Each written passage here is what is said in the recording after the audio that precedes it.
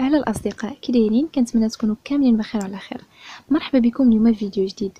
إذا اليوم إن شاء الله غادي نشوفوا جوج ديال الدروس مهمين في مكون الجغرافيا للتلاميذ أولى باك علوم.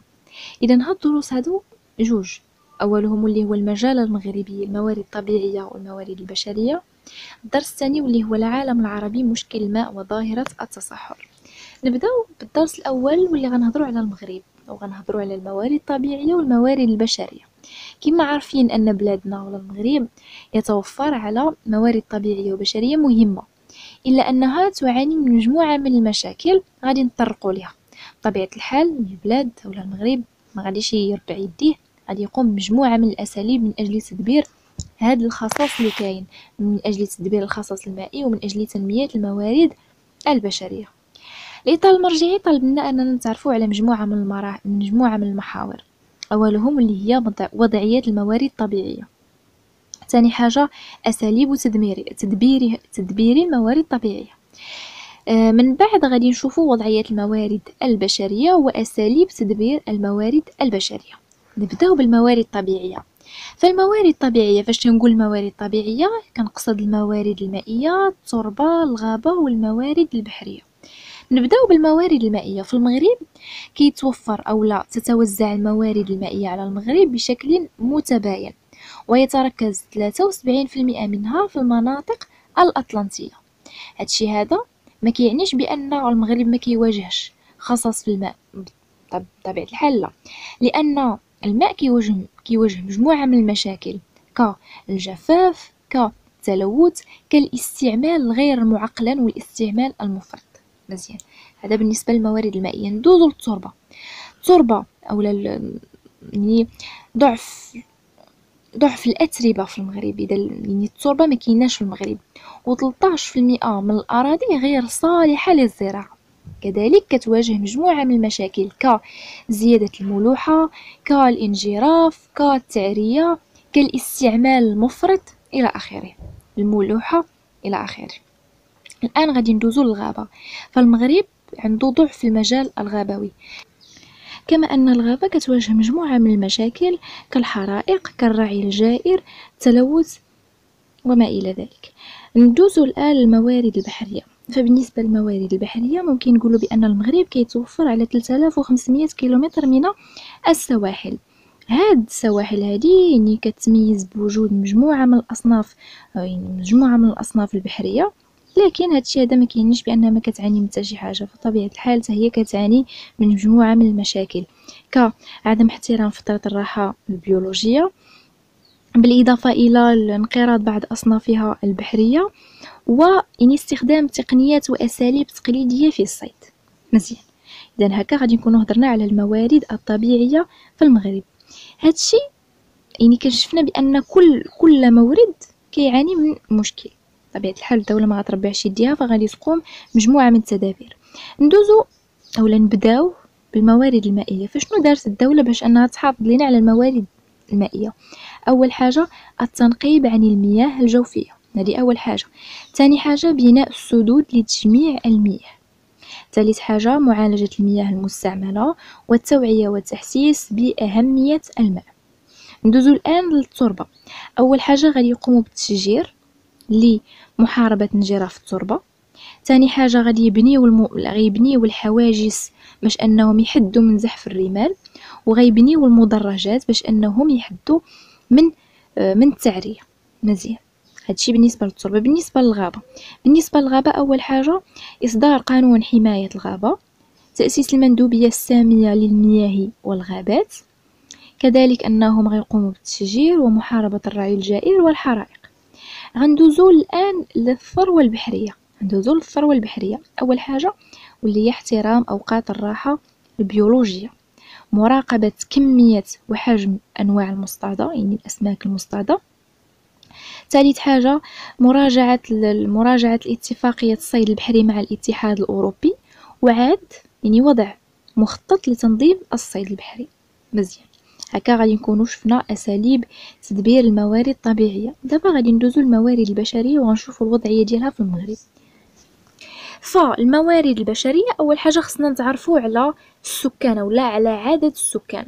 فيبلغ عدد السكان حوالي 33 مليون نسمه حسب إحصائيات 2014 غادي نطرقوا الآن للفئة المهيمنة وكتعتبر الفئة المهيمنة هي الفئة النشيطة اللي العمر ديالها كيتراوح ما بين 15 سنة حتى ل 59 سنة بنسبة 61% تليها فئة الأطفال أقل من 15 سنة فقط بنسبة 32% بالنسبة للنمو الديموغرافي فيتجه هرم الأعمار إلى انخفاض الولادات والوفيات معا.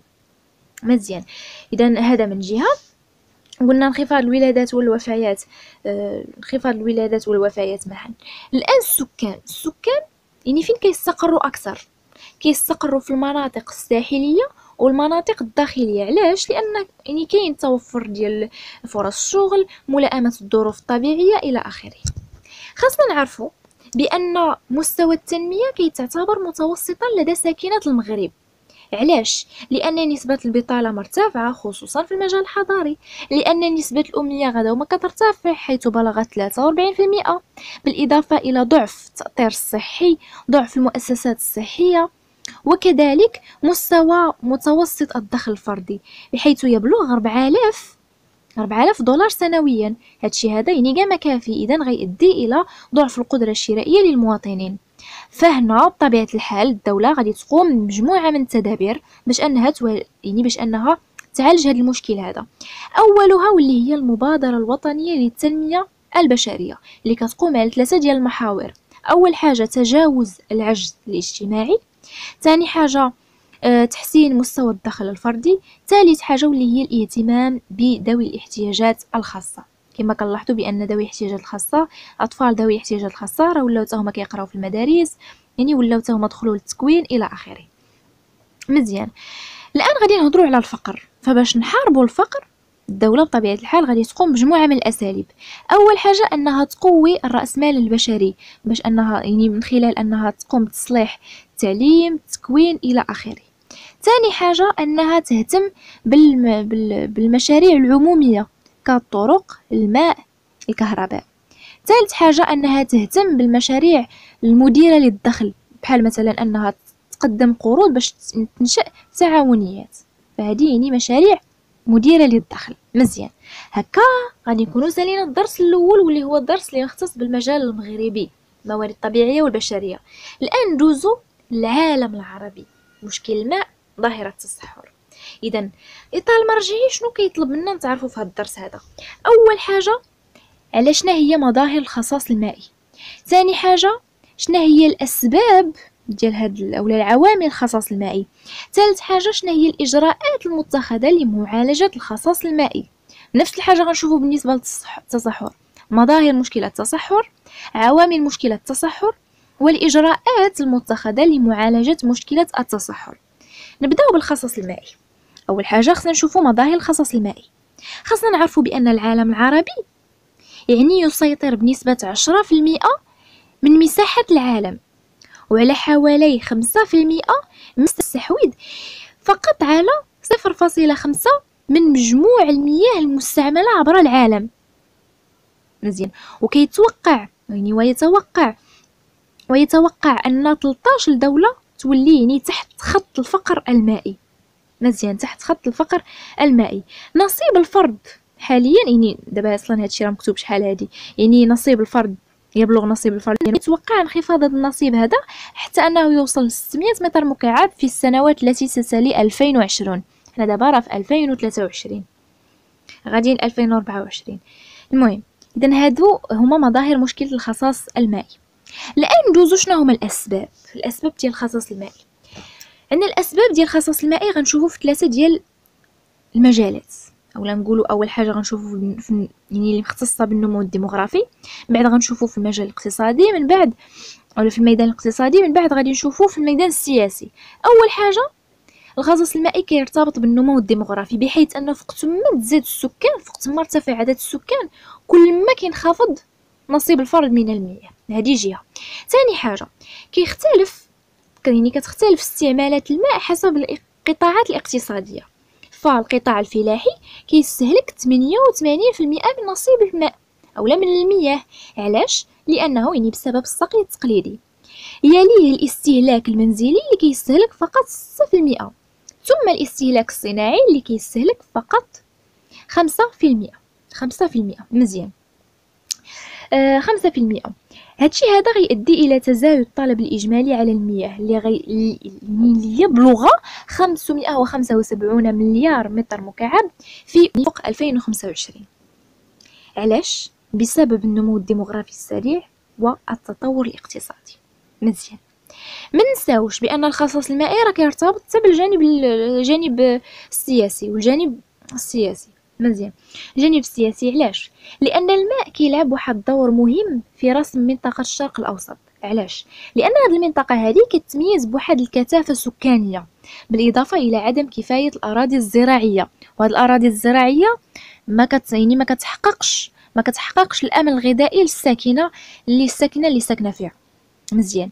اذا هادشي هذا غيؤدي ولا نظرا لقلة المياه فالدول مع بعضياتها غادي يبداو ينوضوا بيناتها المشاكل. إذا تصارع تصارعت الدول فيما بينها حول مجاري المياه الرئيسية.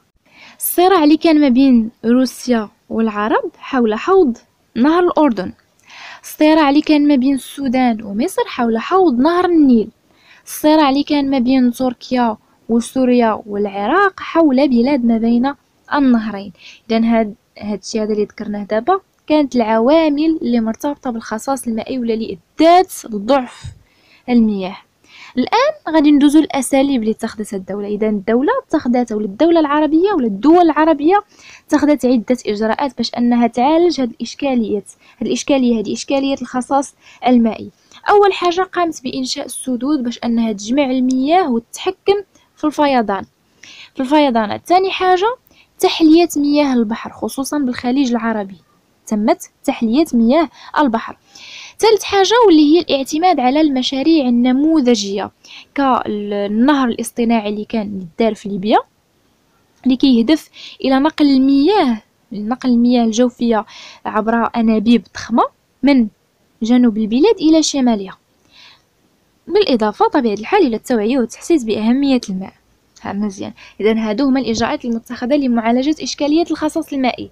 الآن ندوزو للتصحر اذا أول حاجة شنو هي؟ مظاهر مشكلة التصحر خصنا نعرفوا بعدا شنو هو التصحر التصحر هو واحد الظاهرة طبيعية كتميز تدهور الانتاجيه البيولوجيه للارض وكترتبط يعني بالتقلبات المناخية وداك التدخل السلبي ديال الإنسان في المناطق الجافة شبه جافة شبه الرطبة والمناطق المدارية.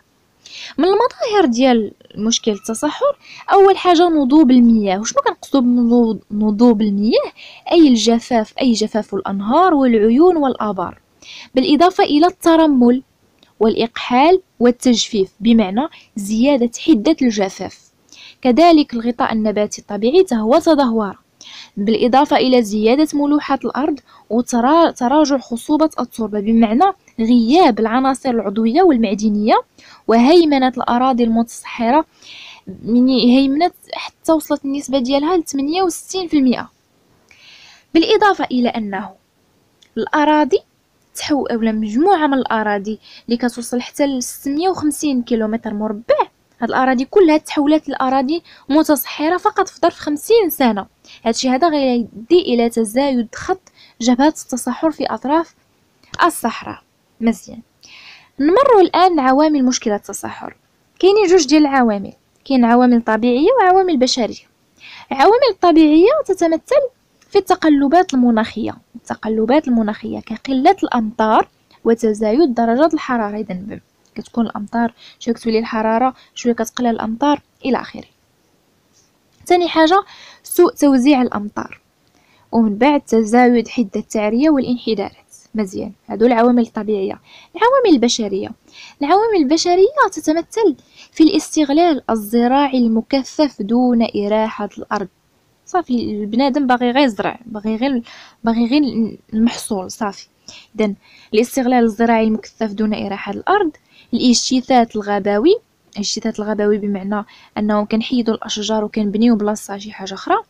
استنزاف المياه الباطنية والسطحية بفعل السقي التقليدي والمكثف والرعي الجائر. إذا هذه كلها عوامل بشرية أدت إلى مشكلة التصحر بطبيعة الحال خاصنا ضروري نطرقوا الإجراءات اللي اتخذتها الدولة باش اولا اللي اتخذوها الدول العربية باش أنهم يواجهوا مشكلة التصحر كاينة تدابير تقنية تدابير اقتصادية تدابير اجتماعية وتدابير أول حاجة التدابير التقنية. التدابير التقنيه مثلا كقيام بعمليه التشجير تثبيت الرمال حماية التربة من التعرية بناء المصدات الزراعة حسب خطوط التسوية والعمل بنظام التناوب الزراعي. هذه وحدة. التناوب الزراعي مثلا أنا هاد العام هذه غنزرع بطاطا العام الجاي غنزرع مطيشة مثلا. بحال هكا. آه، عندنا تدابير اقتصادية. مثلا كصيانة أنظمة الإنتاج في المناطق الجافة. آه، بالإضافة إلى تكييف الإنتاج الاقتصادي مع خصائص البيئة الجافة. ووضع خطط وطنية لمحاربة التصحر بالنسبة للتدابير الاجتماعية كمحاربة الفقر وتحسين الوضعية المعيشية لسكان المنطقة الجافة محاربة الجهل والأمية والتوعية بخطورة التصحر تدابير أخرى. تدابير أخرى مثلا كأن الدول العربية قامت بالمصادقة على الاتفاقية الدولية باش أنها تحارب التصحر. ثم تنسيق التعاون بين الدول العربية باش أنهم يواجهوا إشكالية التصحر. اذا سيداتي وسادتي سالينا هاد جوج دروس هادو اللي يعني عندهم واحد النقطة مشتركة واللي هي الموارد المائية ولا الماء. المهم ما علينا تعرفنا في هاد الفيديو هذا على الدرس ديال المجال المغربي الموارد الطبيعية والبشرية وتعرفنا على العالم العربي مشكل الماء وظاهرة التصحر. هكذا غنكونوا سالينا الفيديو ديال اليوم. كنتمنى تكونوا تستافدتوا نتلاقى معكم فيديو جديد. السلام عليكم.